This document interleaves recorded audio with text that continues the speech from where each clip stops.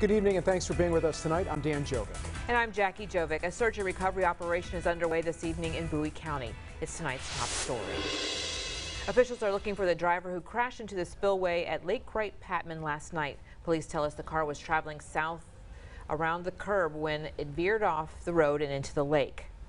Officials say the crash happened around 6 p.m. yesterday and the car was pulled out of the water around 10:30 last night. A 29-year-old Texarkana woman was the only passenger in that vehicle and was pulled out of the water by a good Samaritan who jumped into the water to help her. The woman was taken to the hospital and is expected to make a full recovery. Unfortunately, the driver of the vehicle was not located last night inside the vehicle. We have found clothing and debris from the vehicle as far down as four miles. Good Samaritan last night that dove in the spillway and saved the young lady.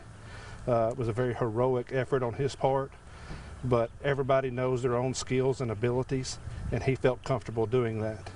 I would by no means ever encourage somebody to dive in a raging river unless your skills and abilities are there. Search teams have been out there all day looking for the driver's body. Authorities say the bottom of the lake has boulders which could make it more difficult to find him. It's unclear why the vehicle left the road.